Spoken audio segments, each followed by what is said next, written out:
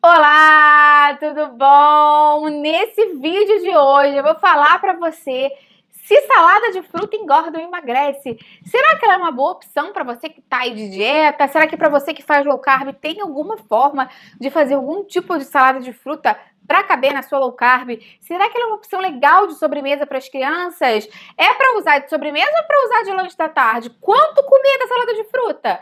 Fica comigo até o final que eu vou te ensinar, inclusive, com o que combinar para ela ficar melhor ainda. Quando a gente fala de salada de frutas é muito engraçado, porque as pessoas sempre acham que salada de fruta é uma coisa muito, muito saudável, super light, super fit, que você de dieta pode comer. Vou substituir meu pudim por salada de fruta, tô fazendo uma super troca.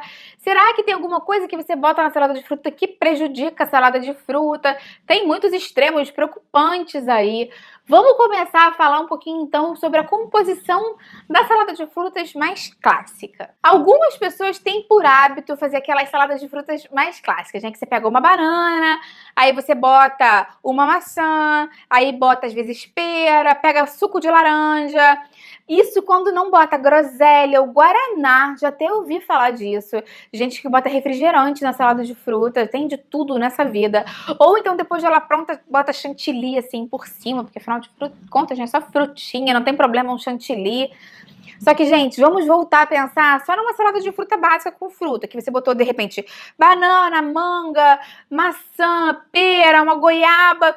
Dependendo do quanto você consome, um pote mais fundinho dessa salada de fruta pode ter até 50 gramas de carboidrato, que são quase quatro, quase cinco fatias de pão de forma.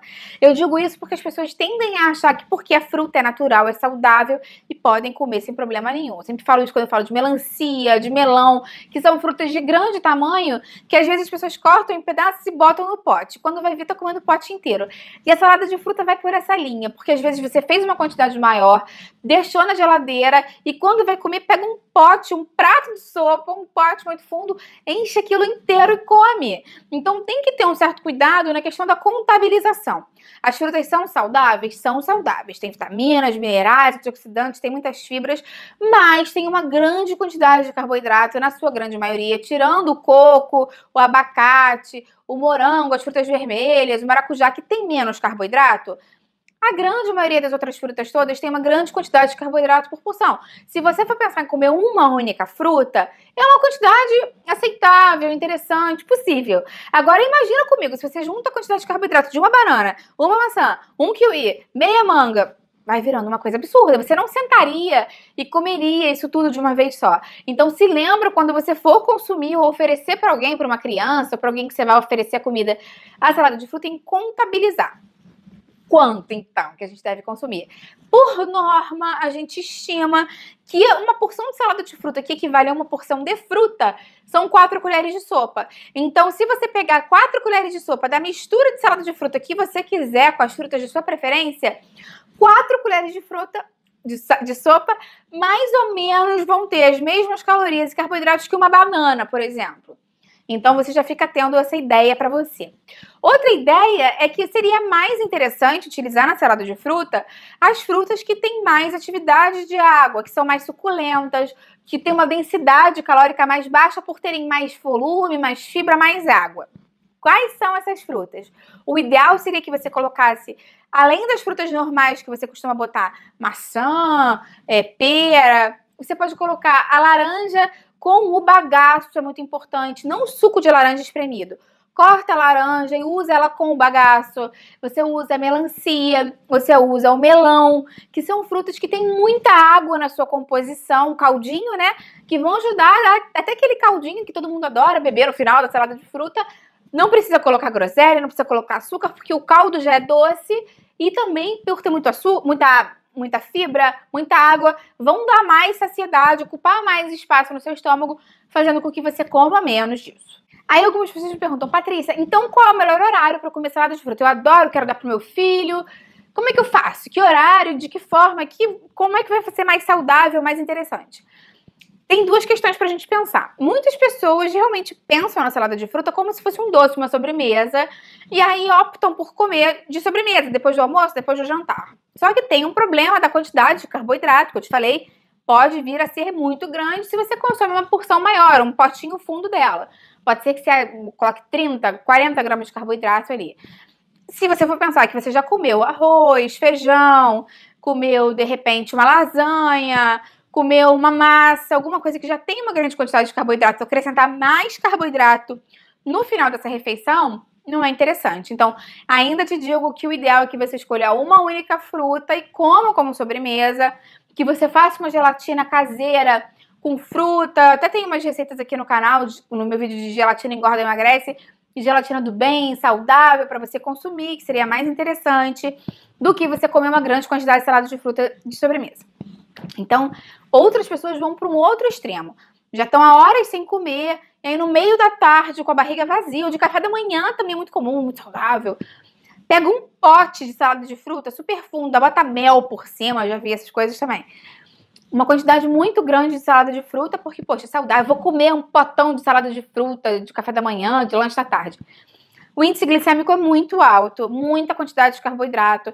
Por mais que você às vezes consiga colocar uma fruta ou outra que tenha mais fibra, é difícil sustentar abaixar esse índice glicêmico porque a quantidade de carboidrato realmente é muito grande. Então, como você pode fazer para melhorar o consumo da salada de fruta? Primeira opção que eu te dou é, mais uma vez, quantifique. Meça quanto você está consumindo. Não adianta você pegar um pote e encher. Uma, duas, três, quatro colheres. Ah, só isso. É isso. Pensa que seria uma maçã. Se você pica uma maçã e corta em cubinhos, vai bem pouquinho também. Então, tenta visualizar. Segundo, acrescenta ou proteína, ou fibra, ou gordura boa para baixar esse índice glicêmico. Uma ótima opção sempre é a chia, dá um crocante, parece até caroço de, de morango, né? Até se as crianças forem mais resistentes, você, você, você botado, se você tiver botado morango na salada de fruta, você pode botar chia e falar que é o caroço do morango, que elas comem numa boa, nem percebem, não tem gosto de nada, tem aquele crack-crack é uma opção legal. A chia pode ser uma opção para você colocar, ou você pode servir a salada de fruta, ao invés de chantilly, que é do mal, trevas, você pode botar um pouco de iogurte com baunilha, iogurte natural, sem sabor, desnatado, que é uma boa fonte de proteínas, pinga umas gotinhas de baunilha, mistura com a sua salada de fruta, que é muito mais interessante. Enfim, buscar alguma fonte de ou gordura boa e fibra, como é o caso da chia, ou o iogurte seria uma opção. Algumas pessoas falam, Patrícia, posso botar aveia na salada de fruta? Porque a aveia tem muita fibra. Realmente, a aveia tem muita fibra, mas ela também tem carboidrato, uma grande quantidade de carboidrato na sua composição, que também vai aumentar ainda mais a quantidade de carboidrato. Então, tem que ter cuidado no que tange esse sentido. Mais interessante ainda, para o caso da salada de frutas, é aveia. Algumas pessoas me perguntam, e diabético? Pode consumir salada de fruta? É tranquilo? Porque diabético não pode doce normalmente, né? Tem que controlar a quantidade de açúcar. Como é que fica com relação à salada de fruta? Mais uma vez, eu te digo que tem que ter um cuidado redobrado, principalmente se é um diabético descompensado, porque normalmente a quantidade de carboidrato é muito alta. Cuidado, então, se já tiveram algumas dessas outras coisas que adicionaram, groselha, chantilly, aí nem pensar. Mas se for uma salada de frutas básica, do bem, que botou um pouco de chia em cima, quantifica da mesma questão. 4 colheres de sopa, bota um pouco de iogurte ou um pouco de chia, pode oferecer. E observa como fica a glicemia. E sempre no lanche da tarde, tá? Ou no café da manhã, como uma refeição. Nunca de sobremesa, porque aí, mais uma vez, vai acrescentar uma quantidade muito grande de carboidrato e vai descompensar a sua glicemia. Vocês sabem que eu sempre me preocupo com os diabéticos, então eu resolvi montar uma receita de uma salada de fruta low carb, com menos carboidrato, para não descompensar a glicemia, se for o caso de você diabético. Pega o papel e a caneta. Se você não tiver, não se preocupa, eu vou deixar a receita aqui embaixo na descrição do vídeo, tá? Você clica naquela setinha ali, vai abrir uma aba, a receita vai estar tá ali, aqui embaixo do vídeo. Você vai precisar de um kiwi picadinho em cubinhos, um abacate daqueles pequenos, também picado em cubinhos, quatro morangos picadinhos, duas colheres de sopa de leite de coco, que é o que vai dar aquele aquele caldinho, porque não tem muita coisa com muito caldo nessa salada de fruta, e canela a gosto. A canela é ótima para a questão de sensibilização da insulina, o que é muito bom para o diabético. Então acaba sendo uma salada de fruta muito interessante. E isso vai render duas porções. Se você achar que ainda ficou muito, divide em três, não tem problema nenhum. Mas de qualquer forma, não é para comer tudo de uma vez. Pelo menos na metade você divide, tá bom? Porque senão realmente acaba ficando muita coisa. E eu também vou te passar agora uma outra receita de uma salada de fruta saudável. Só te lembrando que essa receita de salada de fruta que eu passei não é só para diabético, essa low carb. Se você faz low carb, para emagrecer também é uma opção legal. Ou se você realmente quer uma salada de fruta com menos carboidrato, que te dê mais saciedade, sustente, segure mais a sua fome, essa salada de fruta é muito boa. E eu vou te passar agora uma outra salada de fruta mais equilibrada em termos de carboidrato, para você usar as frutas mais básicas do dia a dia. Anota aí. Uma maçã inteira picada com a casca, uma goiaba também picada com a casca, com tudo, uma laranja cortada em cubinhos com bagaço toda integral e uma fatia de melão cortada em cubinhos também. Aí você mistura isso tudo, bota um copo de iogurte natural, desnatado, sem sabor, e um pouquinho de essência de baunilha a gosto e uma colher de sopa de chia, que vai ajudar nessa questão do índice glicêmico.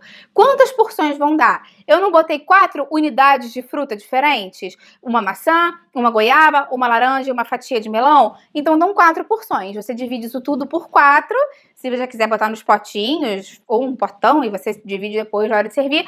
Mas se liga, quando você for montar sua próxima salada de frutas, qual a combinação que você quiser na sua casa, quantas frutas você botar vão ser as porções que vão render a sua salada de frutas. E você gostou das receitas? Tem alguma receita aí para me passar? Só não me vem com receita com groselha, com chantilly, porque não vai dar certo. Mas se você tiver uma receita fit, me passa, eu vou adorar a sua receita aqui embaixo ou me conta então qual dessas duas você vai fazer na sua casa. Aproveita e deixa a sua curtida, porque isso me ajuda bastante. Se você conhece alguém que quer saber mais sobre esse assunto, compartilhe esse vídeo. Vamos ampliar nossa rede, ajudar cada vez mais pessoas, que é isso que eu quero aqui com o canal.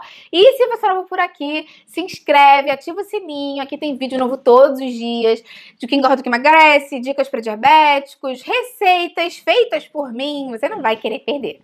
Até a próxima. Tchau, tchau.